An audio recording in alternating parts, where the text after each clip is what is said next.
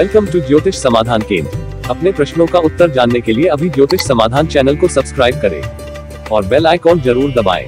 अधिक जानकारी के लिए आपकी कुंडली ऐप को डाउनलोड करें। धन्यवाद। हरिओम प्रिय जिज्ञासुओं, आज मैं आपके समक्ष मिथुन राशि वालों के लिए साप्ताहिक राशि भविष्य दिनांक 18 से चौबीस अप्रैल के मध्य आने वाले गोचर ग्रहों का क्या प्रभाव रहेगा, दर्शाने जा रहा हूँ। मिथुन राशि मिथुन राशि के स्वामी होते हैं बुध। और बुध इस समय चल रहे हैं एकादशे सर्वलाभम। यानी आपके जो है सो मेष राशि पे चल रहे हैं एकादश भाव में सब प्रकार से लाभान्वित करने वाले होंगे। बुध आपके लिए बहुत ही मंगलमय, व्यापार में बड़े से बड़ा लाभ होने का संकेत दे रहे हैं। जो अनायास नए व्यापार का सृजन होगा और उद्योग धंधे के साथ साथ में आपके जो नवीन प्रकार से नए नए व्यवसाय खुलेंगे और उसमें आपको लाभान्वित होने का संयोग भी बनने वाला है।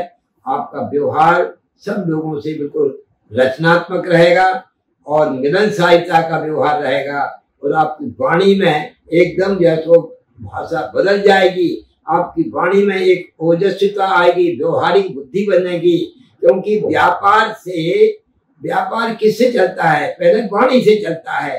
वाणी अगर अच्छी आपकी है तो आपका व्यवहार सुधरेगा जब व्यवहार अच्छा सुधरता है तो व्यापार सुधरेगा। एक दूसरे के पूरक हैं। हम लोग समझते हैं कि उसका व्यापार नहीं चल रहा। सबसे पहले आपकी वाणी को सुधारोगे, फिर आपका व्यवहार सुधरेगा, फिर आपका व्यापार सुधरेगा। तो इस प्रकार से एक दूसरे के पूरक हैं। तो व्यापार बढ़ाने के लिए वाणी का सुधरना आवश्यक होता है। तो इस सप्ताह आपका व्यवहार, व्यापार और वाणी सब सुधरने की स्थिति निर्मित हो रही है।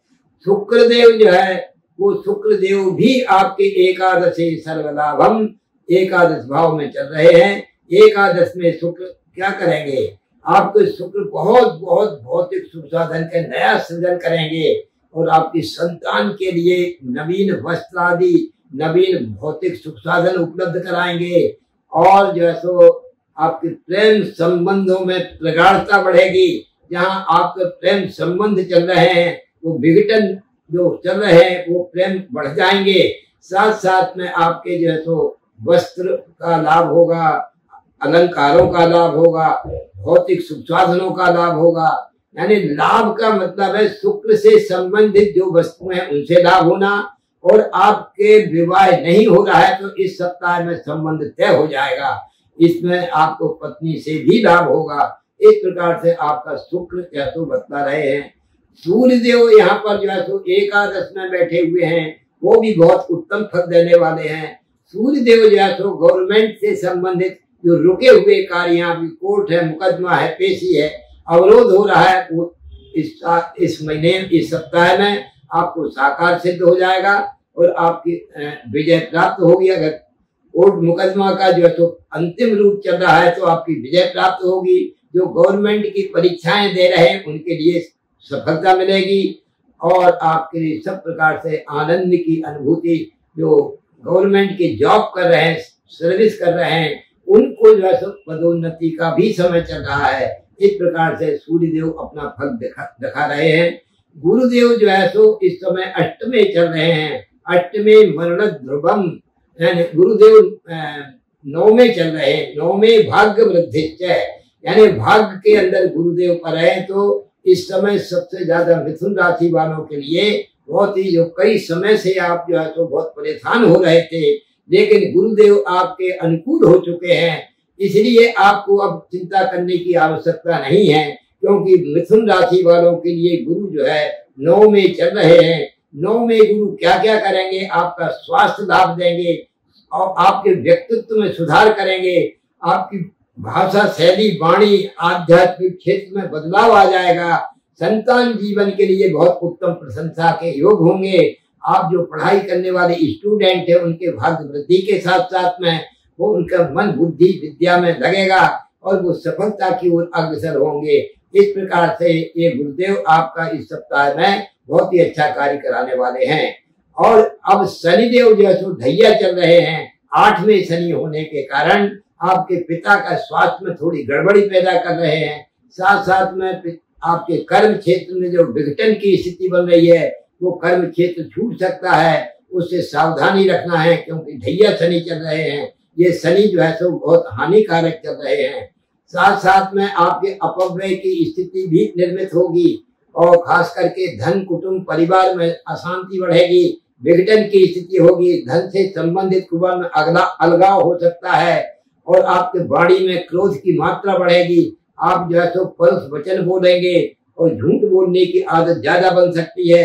इस प्रकार से आपको वाणी में संयम रखना चाहिए। इस सप्ताह में, क्योंकि ये सप्ताह आपके लिए शनि की दृष्टि से ठीक नहीं है।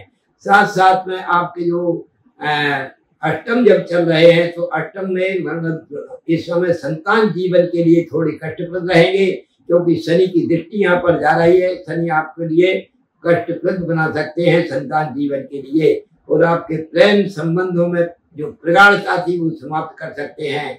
अभी एक गुरु जो है तो प्रेम संबंधों को मधुर बना रहे हैं, और शनिदेव उनको विघटन कर रहे हैं। दोनों स्थिति में स्थिति क्या बनती है? एक ग्रह उसका साधक है तो दूसरा बाधक है। तो इस परिस्थिति में क्या होगा? उसका साधक का काम भी होगा पूरा और बाधक का भी काम पूरा होगा। जैसे अब साधक बाधक क्या है कि जैसे आपको जॉब तो मिल जाएगा, जॉब तो आपको साधना के कारण मिल जाएगा, लेकिन बाधा क्या होगी? आपको ऐसे स्थान पे नौकरी बदलाव हो जाएगा, जहाँ नक्सली क्षेत्र, ऐसे कुछ क्षेत्र में आपका बदलाव हो तो वो बाधा भी आ गई। तो दोनों प्रकार की स्थिति आती है। जब ग्रह अच्छा और बुरा होता है, जब दो ग्रह, जब एक अच्छा होता है, एक बुरा होता है, उसी राशि वालों के लिए तो काम दोनों अपने अपने स्तर से करते हैं। इस प्रकार से जो शनिदेव है, वो आपको करा रहे हैं। राहु देव जो है, अभी आपकी राशि से बार में है।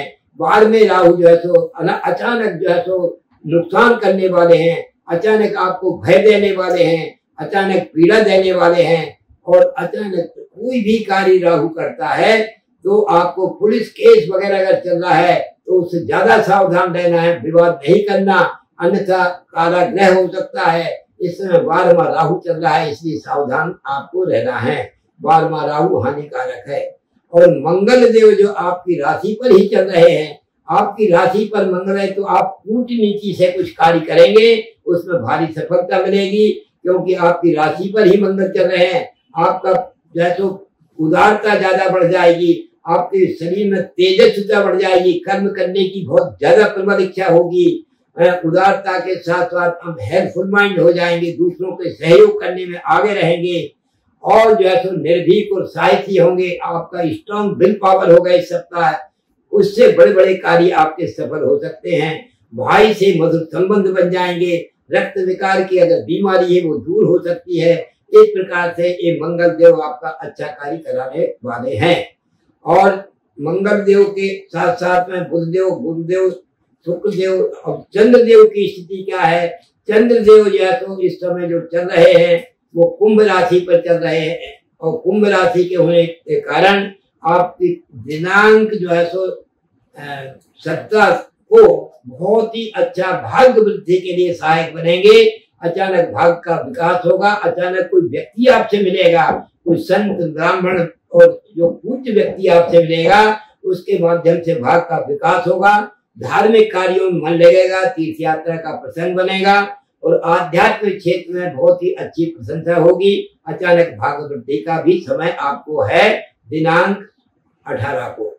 और 19 और 20 तारीख को जो है सो दसवें कर्म ईप्सितम दसम चंद्रमा होने से आपके कर्म क्षेत्र की प्रशंसा होगी। जो भी कार्य करेंगे, उसमें सफलता मिलेगी। लोग प्रशंसा करेंगे और कार्य जो बिगड़े हुए हैं, वो भी सुधर सकते हैं। एकादशे सर्वलाभम। और इक्कीस और बाईस तारीख को सब प्रकार से लाभप्रद होने वाला समय है। लाभ का समय है। आपको अचानक कहीं से लाभ हो जाए, वस्तु का लाभ हो, पैसे का लाभ हो, व्यक्तित्व का लाभ हो मान सम्मान का लाभ हो, लाभ केवल हम पैसे से अंकन करते हैं, वो गलत है।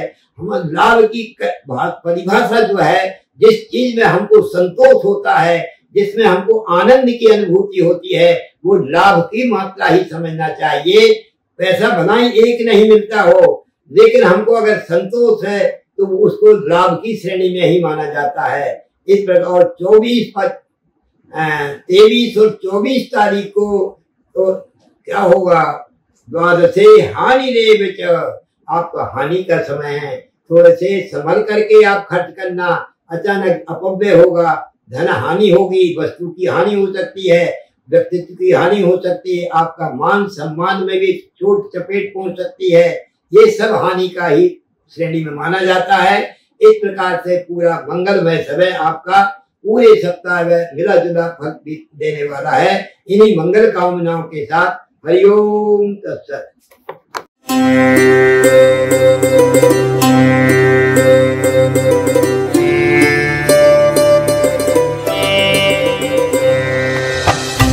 वेलकम टू ज्योतिष समाधान केंद्र अपने प्रश्नों का उत्तर जानने के लिए अभी ज्योतिष समाधान चैनल को सब्सक्राइब करें और बेल आइकॉन ज़रूर दबाएँ। अधिक जानकारी के लिए आपकी कुंडली ऐप को डाउनलोड करें। धन्यवाद।